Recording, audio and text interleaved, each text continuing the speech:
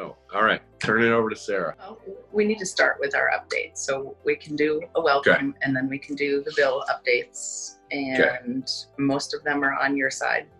Um, Okay. Anyway, are you ready? Yeah. You got to go. All right. Good morning. Good morning. It's Friday the 13th. yeah. Everything's In every way. completely normal. Don't worry. So good morning on uh, on a gray, rainy Friday. Uh, the world is kind of upended from where we were two weeks ago when we uh, when we left for town meeting week. Yeah. Um, but we wanted to give you an update and uh, help you understand to the extent that we understand uh, what's going on and, and where we're heading with our climate priorities. So the Senate's been hogging all the action uh, on our bills because uh, the House did such great work on global warming solutions. Uh, earlier this week, my committee on finance, Senate Finance, moved out S267. This is the 100% renewables, 20% of that in state uh, on a vote of six to one. So we feel pretty good about that. It's now in uh, Senate Natural Resources and Energy. I'm not sure what they're going to do with it, but it's moving along. Um, we also moved, and I apologize, I forgot the number, but in my Senate Ag Committee, we moved the uh, S273, I think it is, uh, farm to school, a little incentive to get more local food uh, into schools. And boy, uh, if there was ever a time where people are recognizing Yeah. our need to be more locally dependent, it seems like these days. Excellent. Uh, we also move forward the efficiency update. So this is uh, pushing Efficiency Vermont into all fields of efficiency, continuing that work. It's this evolution. It's too slow. It bothers me that way. But we moved it out, I think, uh, on a vote of uh, five to one, one person missing uh, out of Senate Finance. That's S337. That'll be on the floor uh, the next day or two. And TCI, uh, uh, an amendment to make it clear the governor has the authorization to join Vermont into TCI is expected to be added to S337 on a floor amendment. We did hope that was going to be today. I think it'll be Tuesday, given everything that's going on around here. So this is a, a soft uh, authorization because we don't have the data yet. We don't know what the program design Right. is yet, and um, and uh, but it will specify what if we do join TCI, what how the revenue should be used. Uh, it'll be no, I don't think. I think it's more general than that. So, Okay. so this is just to catch everybody up. This is the 12 state uh, transportation climate initiative from New York over over to Maine, down to Virginia. About a third of the country's economy trying to come together on a cap and invest system to help us uh, mitigate transportation emissions and invest in sustainable transportation options. Um, the agreement among all of those states is thought to be uh, will is is believed that it will be finalized sometime this spring. Mhm. And in a normal world, we'd be gone by mid-May, and so we may well be gone. So, so I think the bill and uh, the amendment, and it's being worked on still, is something like, Governor, you have the authority to sign us on. Here are some of the things to keep in mind. Chiefly is would we be involved even if we're not signed on because our fuel comes from Massachusetts and New York, which it are two states that are likely to sign on. So we, we may f- pay the compliance costs and then we want to be sure we're getting the benefit. So th- then there is a chance that by not adopting this, we could be paying the price and not getting any benefit. Okay, that's easy enough.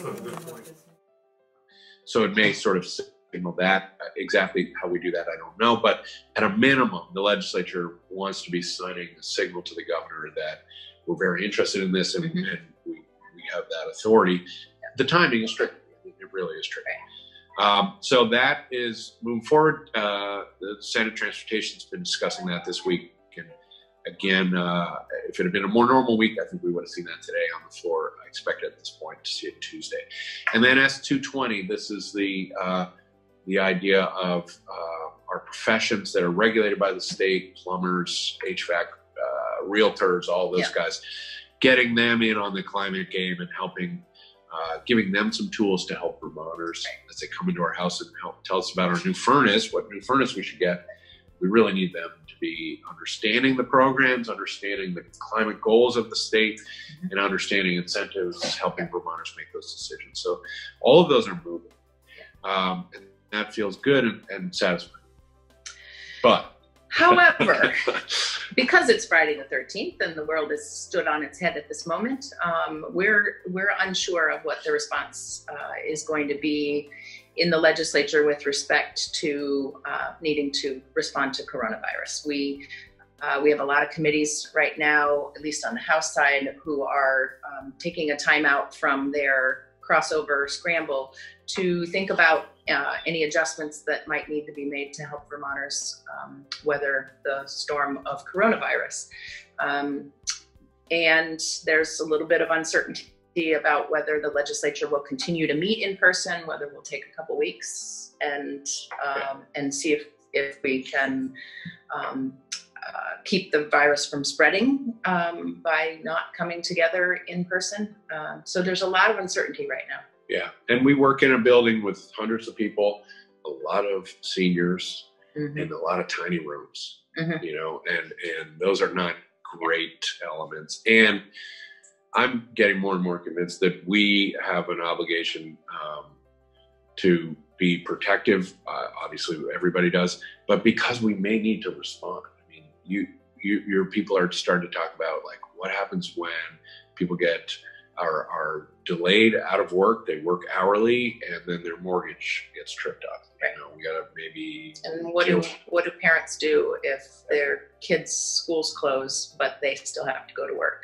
That's right. and what about those young Vermonters whose only two meals of the day are breakfast and lunch at school? By the way, the U.S. Uh, uh, Secretary of Ag did make it clear already that They're gonna- schools can continue to offer up lunches, sort of like we do in the summer in some places. Right. But uh, what if, what happens if the state mandates child care uh, centers close? That deals with parents. But then we don't fund, you know, schools is one thing because they're funded through public dollars. Child care workers are not, and so those people are out of the out of the job. So we may have to work with the unemployment fund.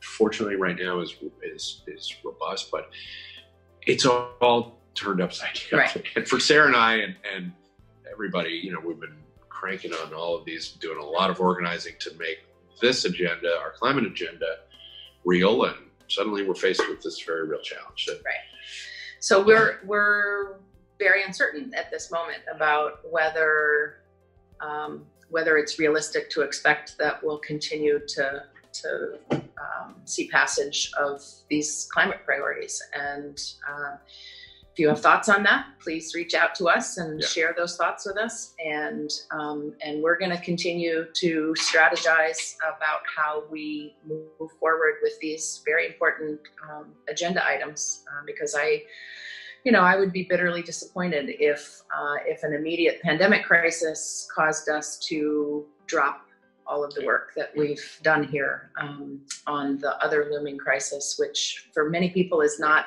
as immediate as right. The- a pandemic, um, but it really should be. well, and it's it's yeah, mu- much longer term, slower, and much more deep impact. Potentially yeah. more devastating. I, I, I must say, I take slight hope. That's a weird word. Uh, in the reaction, I mean, uh, uh, to, to coronavirus, like people are having tons of meetings and trying to figure out strategies and what's the right approach. Yeah. That is the response we need around climate, I right? know, And so maybe we're paving some. Maybe uh, we're testing the sense of yeah, urgency it- that yeah, we need to right, bring right. to the climate crisis. and, and, and it's enough. Optimistic. Yeah, well, hey, uh, somebody's. uh, also, emission reduction in the world right now Right. have have, have Yeah. radically declined. Yeah. Uh, and so it's just, you know, uh, well, that's horrifying, right? We don't want these sort of pandemics to to uh, be the solution. They're not the solution. Mhm. It does offer some idea that hey, maybe we could actually do this, and maybe we need to be a little less cavalier about our transportation, and, Right. you know, things like that. Maybe we Um, could do more virtual meetings instead of driving. Yeah, yeah. So Thanks, Bob. Good thing you're. Speaking of virtual meetings, um, we need to wrap this up because I have so many people waiting for me to do virtual meetings. Um, uh, Yeah. Sorry to to jump no in there, problem. but Thank you, Bob. Thank Yeah. you, Sarah. Please reach out via email. We'll uh, we'll still be here trying to figure out how to move things forward. Giving it our all. I really appreciate you guys. Just wanted you to know that. we appreciate you, Bob.